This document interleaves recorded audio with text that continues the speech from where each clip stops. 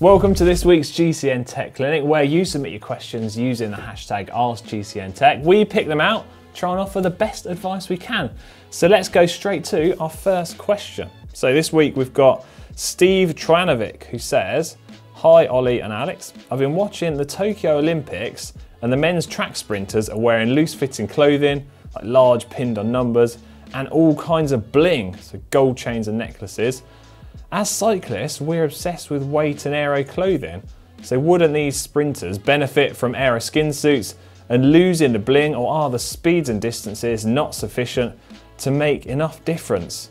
Yeah, it does surprise me as well. I'm I'm always a little bit baffled as to why they're not wearing skin suits and tight fitting clothing, basically, like you're suggesting. Now, I know in the 100 meter sprint, for example, the time of the event is obviously very short, but the races are so closely contested that surely even the smallest advantage is one worth having. Now, in the past, I have seen some sprinters using things like a skin suit, and I've even seen one where they've got a, like fully integrated like aerodynamic hood all over the top of their head, presumably to make them more aero. But it isn't really something that's taken off. And actually, it surprises me that Ollie doesn't have a skin suit with a hood on it, just for maximum aero gains. But anyway, yeah, basically, I'm with you, so I'm surprised that they don't use skin suits, unless it's down to some kind of ruling, presumably, from the running equivalent of the UCI. There you go. Anyway, next question is from Oscar Craig, who says, What is the difference between S bend aero bars and J bend aero bars? I'm looking at getting some clip on ones for my bike but I don't know what the differences are. Well, it quite simply refers to the shape of the aero bar. So an S-bend, for example, have a flat section, then they curve up and then flat again. So in a similar sense to the shape of the letter S. And then the J-bend, well, yeah, it's a similar shape to the letter J. So it goes, curves along flat and then kicks up, similar to how the letter does. J-bend do tend to be the more popular types because they tend to allow most riders to get the most aerodynamic position and they're available in a number of different angles, changing the way that the J part kicks up on the handlebars. So there you go. Right, next question in is from James Lilly who says, Hi GCN, would I be able to install a BB71 bottom bracket with a bearing press designed for BB30, BB90 and BB86? Thanks James yeah, it should be fine. The only issue you might run into is if the tool is specifically designed for a BB30 bottom bracket, that it might not fit into the BB71 bottom bracket that you're trying to install because obviously BB30 has a large axle size. But basically, if the tool fits through the bottom bracket, it'll press it into the frame just the same as it would for any bottom bracket. So no stress at all. Next question is from Jeremy Schramm, who says he's still worried about Ollie he just seems off. I hope you're okay, man. Yeah, don't worry about it. Ollie's fine. If anything, we often find he's too happy and too cheerful. So um, yeah, don't worry about him. He just likes to put on a slightly grumpy sort of act every now and again. Anyway, next question is from Jim Swift, who says, Hi, Alex and Ollie. Recently, I damaged my 2016 Shimano Sora brake calipers and I've replaced them with new Ultegra R8000 calipers expecting them to be fully compatible. I've still got Sora shifters, but the new setup just doesn't seem as good as before. The brakes need a much firmer pull and feel less sharp. Do I need to change the shifters too?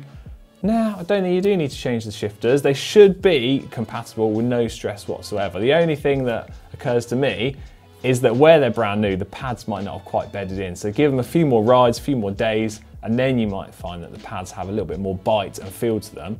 And the next thing you should check is that the pads are aligned correctly with the rim. So you need to make sure that the pad is contacting the correct part of the braking surface and that all of the brake pad is touching it. So make sure they're pretty much parallel with the braking surface. And hopefully that should increase the performance of your brakes. But if in doubt, it's always worth double checking on the Shimano website, for example, they've got some fantastic compatibility charts and that will tell you all of the different caliper types that are compatible with all of the different levers and it should mean that you've got no stress worrying on what components work with each other.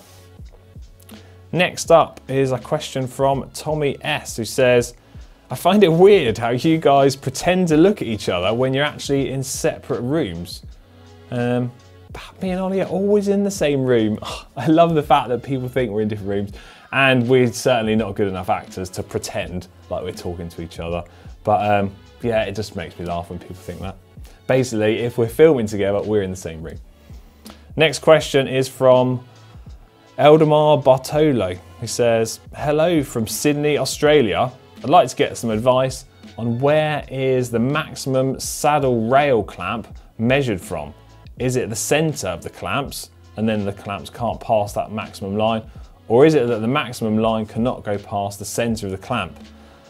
Um, okay, I see what you mean here. Basically, the markers on the saddle rail dictate that the saddle clamp, any part of it, cannot go outside of that area. So there's no good lining up the maximum clamping area with the center of the clamp because that'll be wrong. So make sure that the clamp doesn't go anywhere outside of that marked area and you'll be perfectly fine.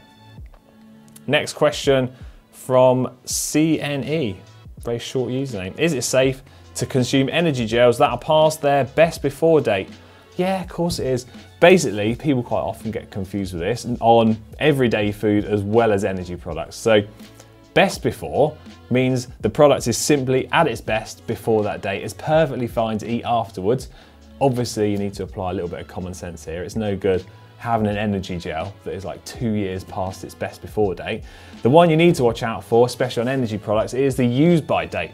This simply means that that product needs to be used before that date, otherwise it's considered not particularly safe to do so and um, well, you could end up getting ill. So best before date, don't worry about it too much, just apply a little bit of common sense.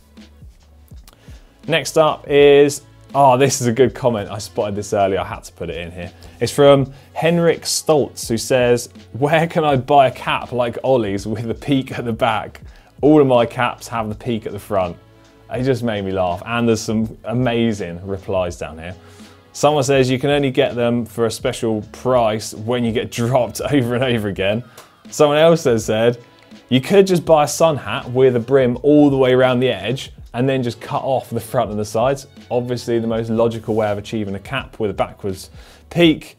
And then someone else says, well, I've been dropped enough that I deserve to have at least a dozen backwards caps in their collection. There you go.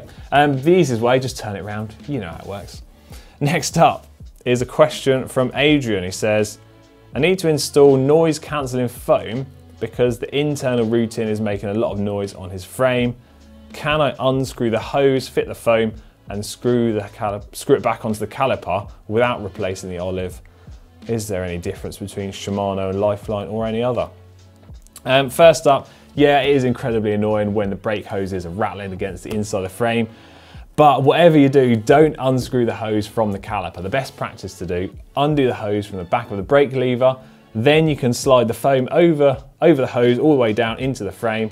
And the easiest way of doing that is a little bit of spray lube on the inside of the foam. It will slide down the hose into place and then you can bolt it all back together. You shouldn't need to replace the olives or any of the components. And if you're careful and you don't lose any fluid and make sure you don't pull the brake lever when it's all apart, you shouldn't even need to bleed the brakes and it'll all go back together with no stress and no mess whatsoever.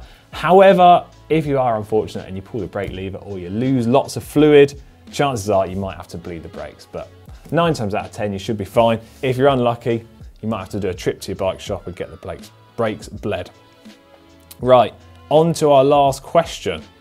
It is from Jennifer Cash, who says, upgrading my Ribble Sportive with limited budget Am I best to start with upgrading the wheel set? So currently that's Shimano RS11 with 8,000 miles or the group set and drivetrain currently using 105 group set of the people. Um, upgrading your bike. So in my opinion, the best place to start upgrading and the most cost effective upgrades has to be start with your tires first. So tires, get some fancy inner tubes. They're gonna make your bike feel a lot nicer. Then move on to the wheels. So you've already suggested whether you upgrade the wheels. So that would be my advice. Stick to wheels and tyres first. And in terms of upgrading your group set, my best sort of advice and thought on this is only to upgrade it when the components get worn out. I really wouldn't take good 105 group set off your bike and replace it just for the sake of it unless you are really set on the idea. But basically, I mean 105 group set is really good. Group set of the people, it will last you well and it will serve you perfectly for what you need on your bike and the wheels will make quite a big difference. that is it for this week's GCN Tech Clinic. I would say we've run out of time, but we haven't because time is endless. So I hope you found it helpful. And if you have, why not let us know in the comments section down below if we've answered your question and it's helped you out. And if you've got any other questions you want to know, please let us know in the comments section down below using the hashtag AskGCNTech. See you next week.